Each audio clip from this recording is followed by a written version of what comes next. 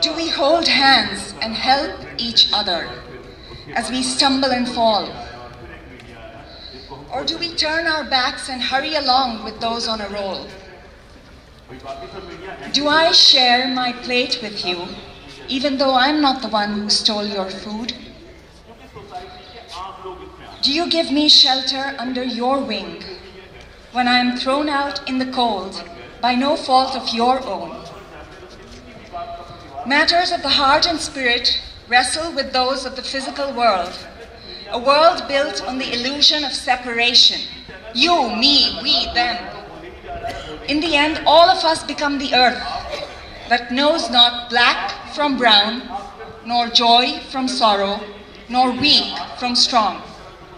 And yet, we live in bubbles of isolation, as though your and my victories and hardships are exclusive to each one, when the truth is that every breath we take ripples itself into the other. The air that finds its way inside your lungs is the same air that keeps me alive.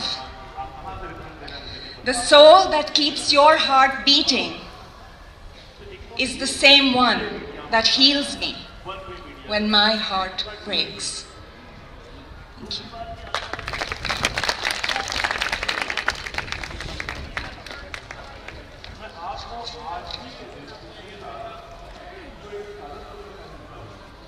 Before I move on to the next one, I'll, I thought I'll, I will share in between the longer poems a few really short ones, just three or four lines, um, to kind of lighten the read. So here's one I really like, and I would love to share it with you.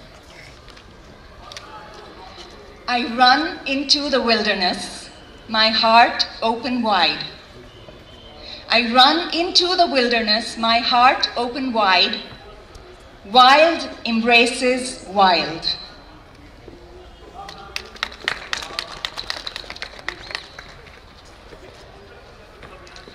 A numbness wraps itself around me. I curl up inside it like a caterpillar in a cocoon not waiting, not wanting to break free until I am certain I have wings to fly.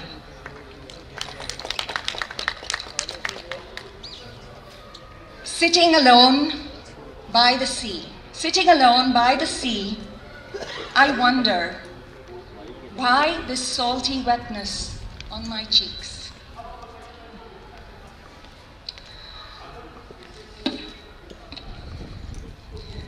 This next poem is called Having Tea with My Demons. And uh, it's inspired by the story of the Buddha having tea with Mara, the demon god that tempts him with illusions. And instead of fighting and struggling with Mara, Buddha invites Mara and has tea with Mara. So having tea with my demons. I am controlled in so many moments of my life by demons that haunt me. I do not know how to escape their torture and be free. They are my own, and they are asking to be loved and welcomed into my home. Come, demons, sit with me and have some tea. Tell me your stories, and, and even if you scream them to me, I will listen without asking you to be quiet. I will sip from my cup, and I will soak in your words. And I will embrace the feeling you feel as I taste the salt upon my cracked lips. And I will let you throw a tantrum and kick your mug and spill your tears. I will come to you and hold your hand and walk you to the garden where you can play and roll upon the wet grass and become dirty and wild and release your energy, the fuel that makes your blood boil. Come, dear demons, come to me. Sit with me now and have some tea. You belong to me. and I will take care of you and your insanity. It will be mine to love, and love it I will.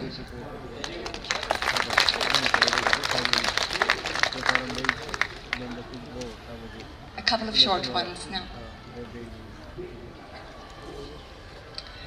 Stardust falls upon my window where last night the moon had come. The conversations I have with the heavens are by far the best. At the breaking of dawn, light comes. At the breaking of dawn, light comes. So, at the breaking of heart.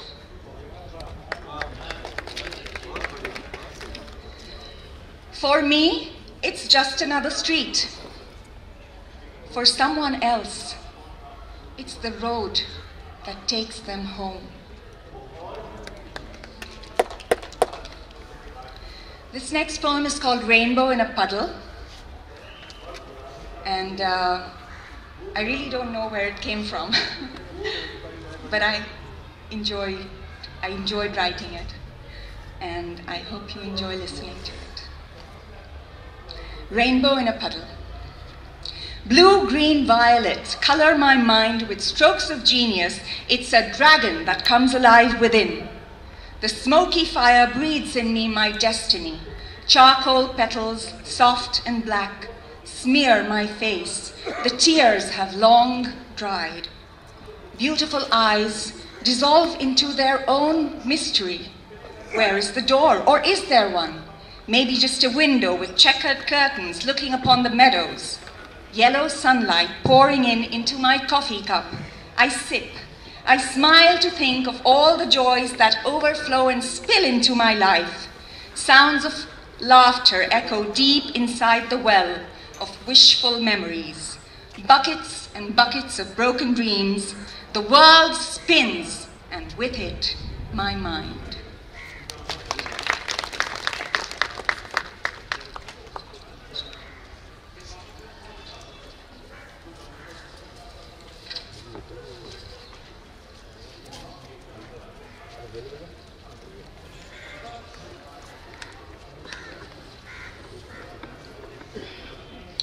This last poem is, um,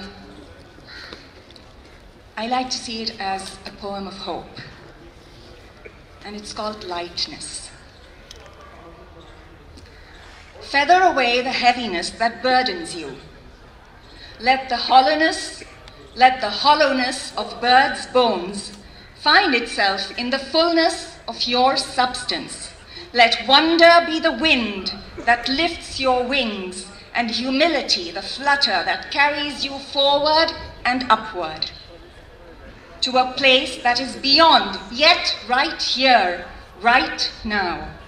The coming alive is in this moment, whence the breath that comes and goes from the deepest part of you reaches the farthest edges of the rays of sun that pool into a space of moonless beams and silver linings touching the beautiful pink clouds that float upon the horizon of nothingness and serenade the coming and going of life.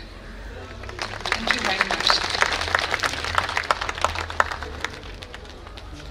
Thank you, Anwar. It's very, very nice indeed.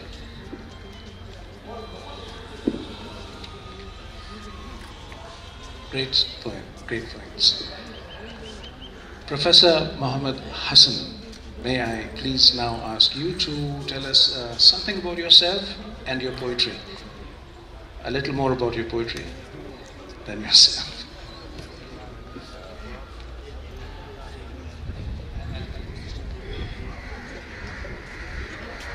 Check, yeah. Uh, at this age, I'm weak kneed, weak heart, and failing mind. If you don't mind, with the permission of the their excellencies, the retired judges, can I take the chair and speak? Uh, thank you. First of all, there are many people who are my friends, but I know by now, as uh, another retired judge, Justice Bauru Khan said, all the time you were roaming in the street of Jaipur as a duplicate copy. We never knew that you have a heart and you have a rhyme with you. Uh, yes, it is a surprise. And uh, today, as I did earlier, I want to thank my dear friend Sunny Sebastian and of course my wife who pushed me to finish these notes into a book like this one. Uh, without their support, I don't think I would have been able to done it. As my professor in America said, you read enough, start writing. So they said, you written enough, get it out. So anyway, the delivery was done, and I don't know how the baby would be around you.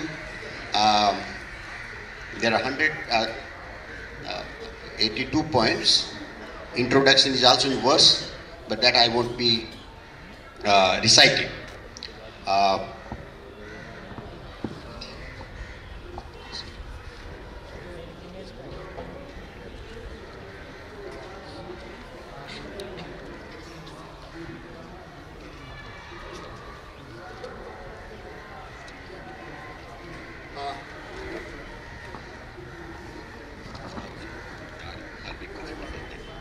needle.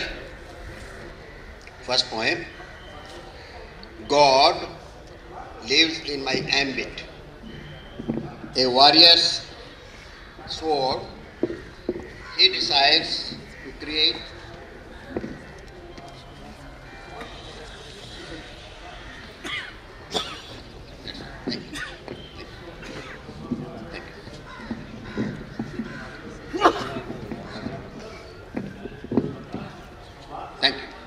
needle.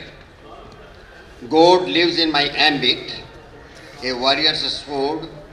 He decides to create or kill, defend or expose. Don't go by my lean shape, size or weight, but reckon by my substance and skills and my omnipresence. I trace my ancestral thorns, beaks, hollowing tree trunks, weaving a tapestry of silk for tiny homes or tree tops. I render shape and grace to all that makes life, to make jute hold grain, flowers bloom to my dance on Kashmiri shawl and kasar. Remember how careful you are holding me in a hand or teeth. I test your patience hiding in hay and I slip on floor or in quilt, you fear a friend at home. Hiding to give a terrible slip. Imagine how you tiptoe like a Shiva in measured dance, terrifying all, fearing on prowl fanged tip. Together as twin sisters, Thimble and I, darning holes, fixing buttons, weaving smiles and tears, reliving nightmares and dreams. I can tell age from agility by how a child and aged one holds, looks, aims, and pulls through. A silk thread through my hole. Can you hold and aim? Coordinate eyes and fingers, hold and thread? Doctors know what you need. Mishandle me, you bleed. You deftly yet deftly you succeed. Tridents, spears, and swords, my melancholic manifestations, syringes, nips, and hoes, my better selves in divine hand, still in noble roles. I am both noun and verb. Your hand commands my role.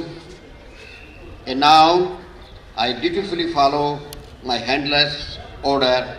I pierce stitch, knit and mend, remove thorns from flesh and plant diamonds in nose and lobes. As a verb, I am at my venomous worst. Peace loses sleep, friends get estranged, hearts are broken, Homes are divided, worlds ravaged, nations wage war.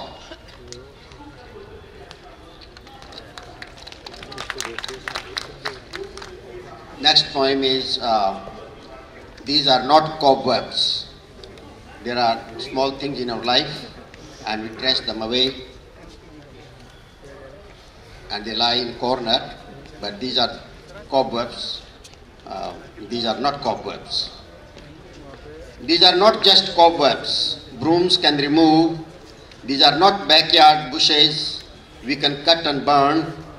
These are not useless things we can throw in garbage bins. These are like nightmares that never leave. These are like lightning charred groves, trees turned into ashen stumps. These are like steel nails growing inside. These are like first slap engraved on a newlywed's cheek, heart and mind. These are like a teenage bride's kick, a flawed goat's frantic flailing legs, silenced by butcher's knife. These are the molten lava words uh, these are the parting molten lava words of first love, shame on you. These are modern emerging trends, leitmotifs that often haunt like the handcuffed rebel Viet Cong facing a firing squad, like the parents in faded pherans holding framed photos on chests of their disappearing of their disappeared sons praying quietly on snow coffined graves. These are not mere lines of hands. These are not mere kicks and slaps. These are not mere pyres and silent graves. These are not mere walls and roofs burnt in victims' presence. These are not mere fetus held on trident waved. Many worlds are entangled in them like a white pigeon's neck blood oozing, trapped in Chinese kite strings.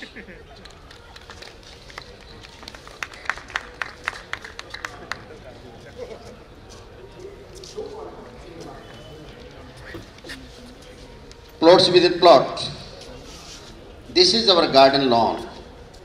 The lawn was an orchard. The orchard was a jungle where lived beasts and savage clans. Beasts have become trophies. Savages, now severely tamed, have become machines and domestic things. Trees have become grasses and orchards glass houses. So these are plots within plot. Our daughter raised these plants. Then they seemed her only plants. Now she has a new home on the far off Pacific shore. Plants don't have feet, they have only hands. In distress, they sway like orphans whose mother was taken away. Their leaves often tremble when a plaintive manna sings. When they miss her, in the night, they quietly cry. In the morning, to cheer us up, they explode in smiles but their dewy tears they can hardly hide.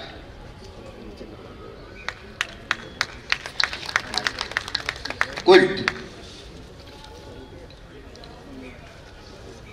My great grandfather and mother shared the same caste gene pool. They plowed our ancestral land, raising cotton, mustard, and wheat. My grandfather an audacious Jat, chasing a wild dream, jumped into a turbulent dream, a stream. He went to high school, eloped with a Sikh. My father chose a new orbit, studied in Delhi. Daredevil that he was, married a pretty Muslim. They're all different, at times different, but fair, firm in convictions. They ate coarse meals threshed cotton balls, spun yarn, wove fine fabrics. They made this large wonderful wonder quilt a heritage of how they lived. My mother bequeathed it with its medley of irregular pieces of rainbow themed cotton and silk, a collage of their times and tempers. Some are plain pieces, some have hand block prints, some are deeply dyed, and some in lauter, some are yet undecipherable. Someone patted the cotton swell, someone smoothened and stitched. In the cold, I wrap it around like my arms around my mother and sister, listening to them tell our homestead tales, sipping our farmhouse milk. Son, it's not a mere quilt, it's a tapestry, fabric of family history, made and remade, darned and washed in tears, sweat, and blood.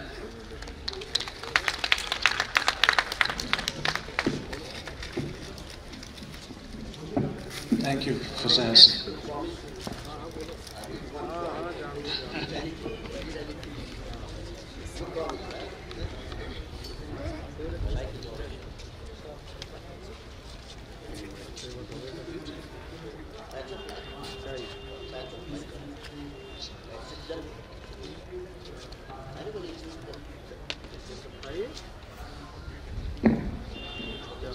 Uh,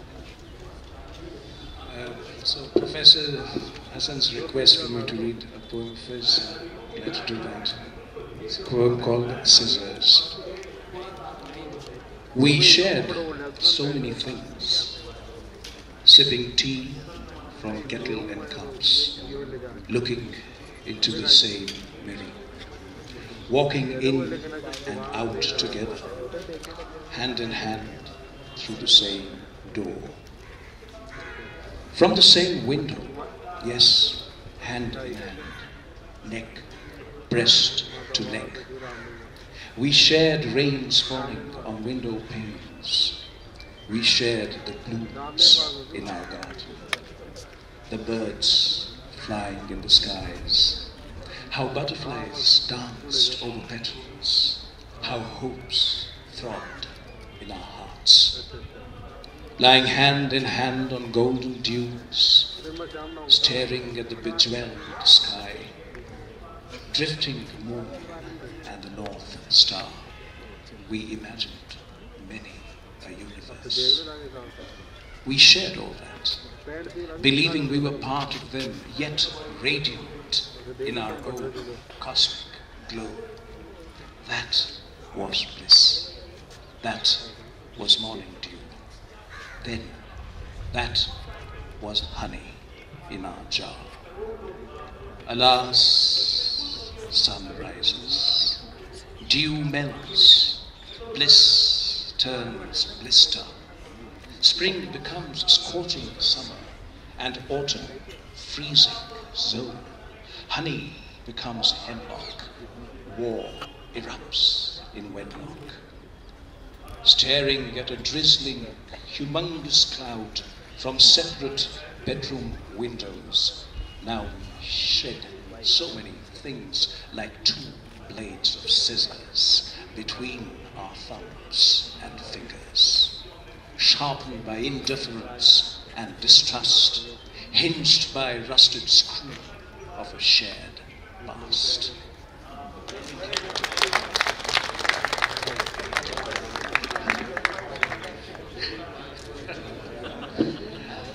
Uh, my uh, privilege to call upon Makarand Paranjape, Dr. Makarand Paranjape, Professor Makarand Paranjape. I've known Makarand since I came to college, and uh, my first experience of his poems was my first year in college, and I still remember that very well. Makarand, so happy to call you. You want him to read first? Okay. So, um, all right, Makarand's choice that uh, Parikshit comes first because I, Parikshit being the host with me, I thought uh, we would give him the uh, final position. So, Parikshit, um, I, there's a huge temptation to introduce him, but I will not. Parikshit will introduce himself, and again, a bit more than himself, his poetry.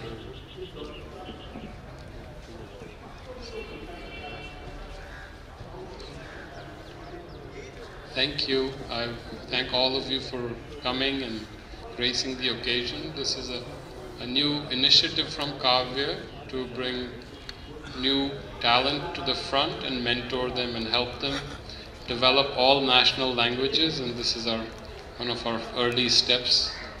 We are learning along the way, figuring things out. Uh, without further ado, um, I shall just read and see if that is an introduction. So these are Radha's Geet. Uh, Radha ji is saying things to Krishna and uh, different moods, different flavors, different aspects of her personality come out. So she got upset with Sri Krishna. I, Krishna, I took your flute and threw it away, somewhere in the woods unknown to you. And what did you do? You stood there and smiled giggled almost at my mischievous ways, as if you knew what I did. Then, in a moment's impulse that is yet a blur, you reached forward suddenly and kissed me lip to lip. I have yet to regain that old self I knew as I, recover that partial bliss. Now you play the flute of this emptiness caught in a reed. The limbs hear your melody note by note. The trees and beasts whirl with star and moon. Move to the unheard silence I hold within. There is nowhere to go. But be the plaything of your music. What I took away from you with nonchalance, you turned into me.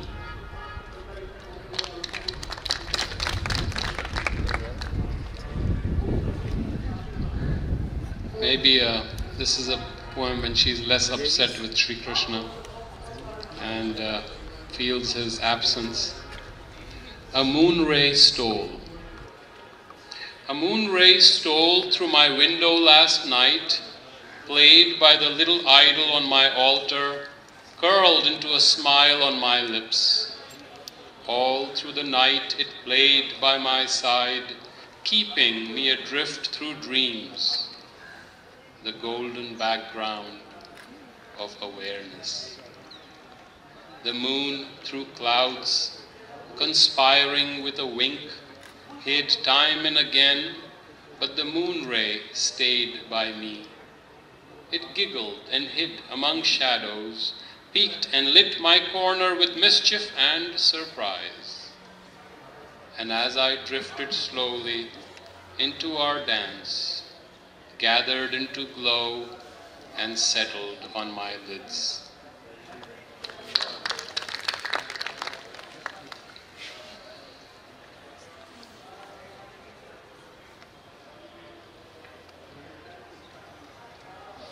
Shall I?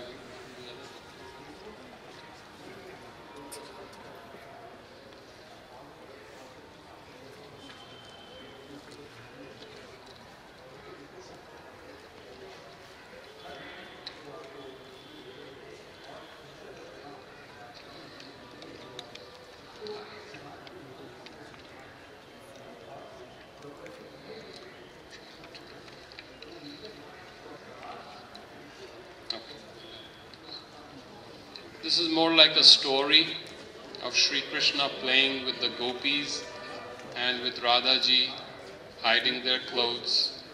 And this is not a physical description, this is always, as in our traditions, this is a metaphor.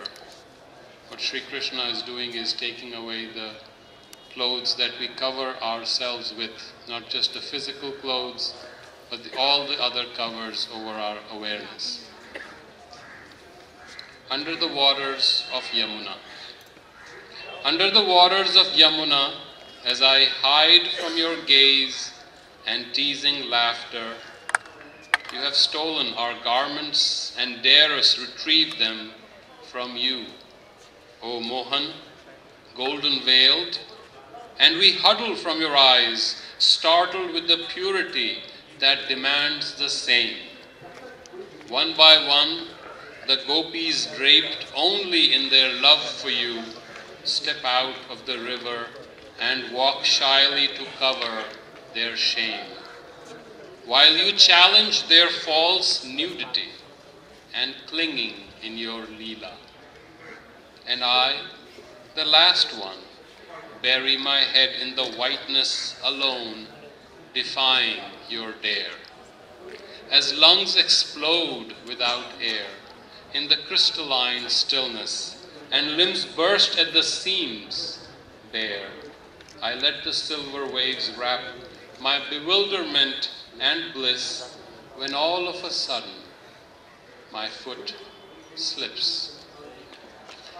And in the rush of current sleeping, I am swallowed in a whirl, letting go of body and ego, in love and stillness smothered, not free yet to love freely.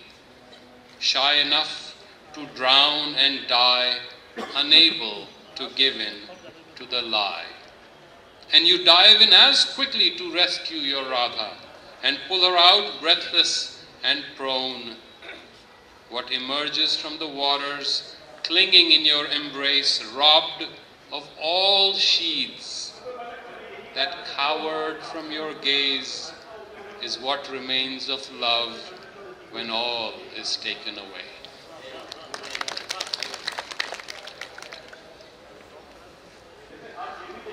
This is from my older selection. There was a girl I loved once.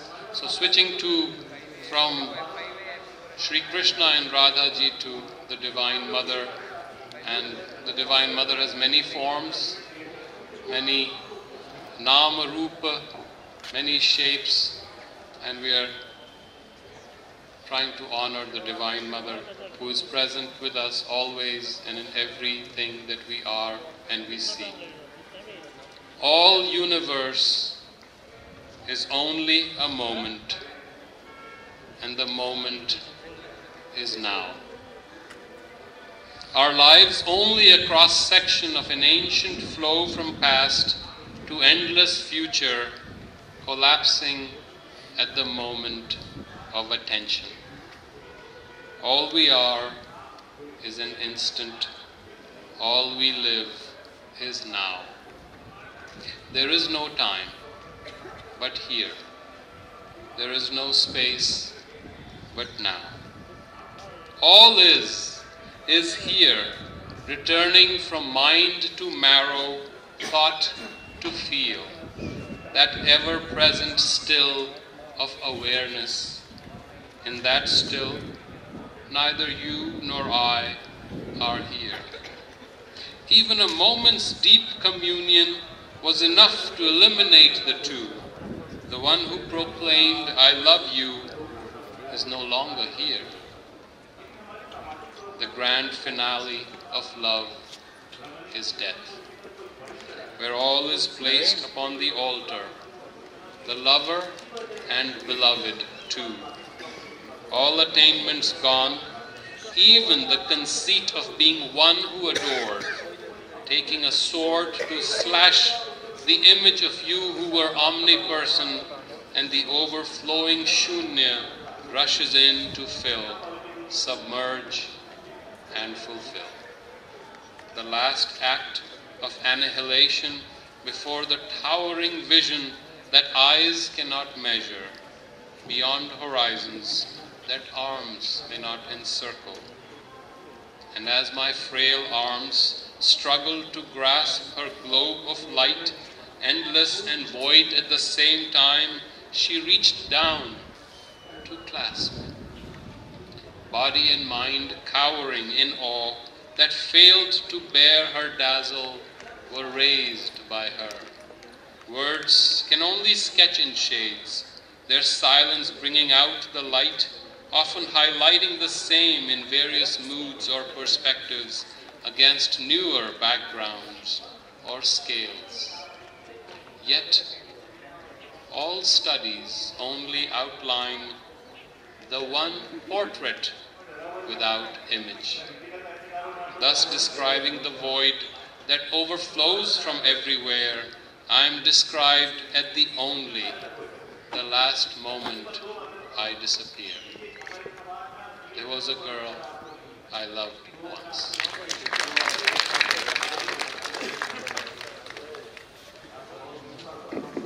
It was Parikshit reading some of his poems. And Makarand, are, are we ready? Shall I now invite Makarand Paranjape to tell us something about himself as a poet and about his poetry? Thank you so much. Uh, thank you, Dr. Parikshit. Thank you, fellow poets. Thank you, all of you, to have come here this morning on a Monday to listen to poetry. Poetry is, as we all know, a very special use of language. And all around us, you see language being distorted, destroyed by ideology, propaganda, advertising, what have you. And it's the poets who purify language once again. So I want to congratulate Parikshit ji and his wonderful team for this initiative to provide a platform to poetry and to revive this in an age of not only social media, but at a time when nobody wants to read poetry. It doesn't pay, it's not fashionable. You can't get an advance of, you know, two crores for writing poetry like you might if you wrote, uh, like Chetan Bhagat or my friend Amish uh, wrote a book of, uh, uh you know, on uh, Shiva or Rama you know, fantasy fiction, you'll get a lot of money, but for poetry, you'll get nothing. So thank you. And uh, I was asked by my dear friend Partho to say a few words about myself and my own journey as a poet. And uh, I want to start with the confession that uh, I wish I had done more for my muse uh, than I have. I feel I have neglected her, partly because of other pressing obligations and duties. But nevertheless, I believe she has been kind to me. And so I want to start in my own way by acknowledging that kindness and by offering this prayer to the Muse. Remover of the darkness within, bolt of sheer lightning, I seek refuge in your radiant being.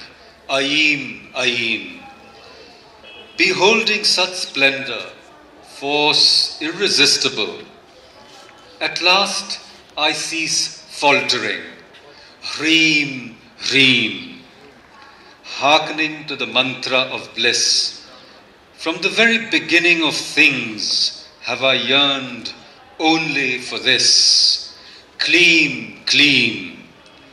Puissant and immense in flight, in the darkness of the night, I delight in your secret name, Shreem, Shreem. Now, we all know that uh, words hide more than they reveal, and uh, what they reveal may be actually very little. And uh, Partho asked me to say a few words about my own kind of poems. I think I'm a poet of Shringara Rasa, but Shringara is so many things, as we know.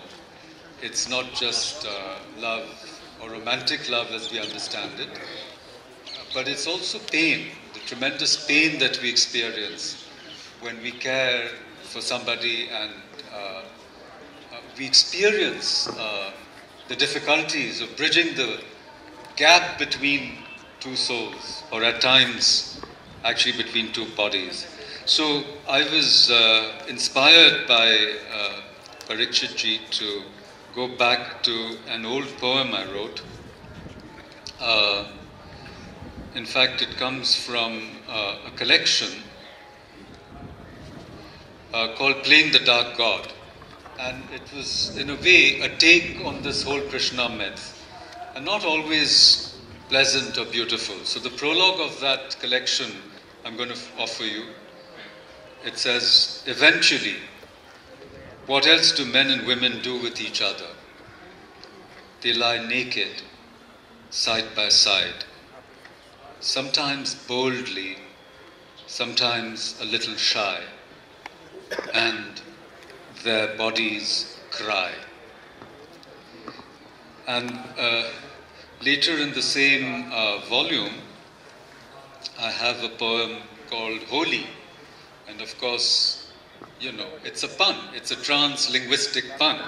Hindi में हम जानते हैं होली एक बहुत बढ़िया आ, हमारा त्यौहार है हम रंगों के साथ खेलते हैं अब आने वाली है होली कुछ महीनों में but it's also holy in English, you see. Anyhow, so Rukmini. The night before the festival, I touch her long distance. This telephone is my water pistol, and my words are in the soft shades of love. So let me douse you again with color, just as I first claimed kinship with you by the subtle magic of science, left by my appropriating body on yours. And now over the years, look how it's I who have been dyed in your color. Thank you. Thank you.